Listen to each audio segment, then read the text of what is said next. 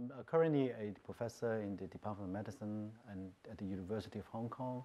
Um, I have researching for more than 15 or 20 years and I find research exciting and fascinating, particularly when the research can change the practice um, and also improve patients' outcome.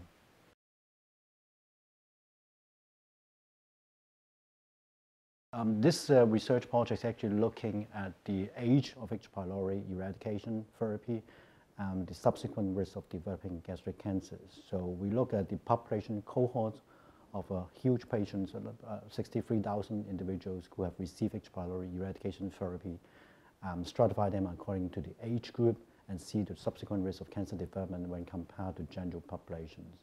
And despite usual belief that H. pylori eradication should be given very early on before they develop preneoplastic lesions, our result found that even when you receive H. pylori eradication beyond the age of 60, the risk of gastric cancer development was still significantly reduced. So suggesting that there's never too late to eradicate H. pylori, although it may be better to do it earlier, but even if you receive it at the age of 60, you can still prevent gastric cancer development.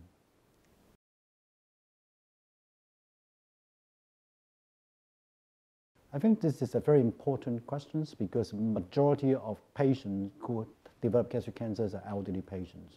And these patients are also at risk of developing H. pylori infections. So um, there are large proportion of patients out there who have never received H. pylori eradication therapy. And there's always a concern whether it's actually too early or too late to eradicate H. pylori. So our results will help to answer that question that even if you receive H. pylori eradication very late, you can probably still reduce substantial proportion of patients developing cancers.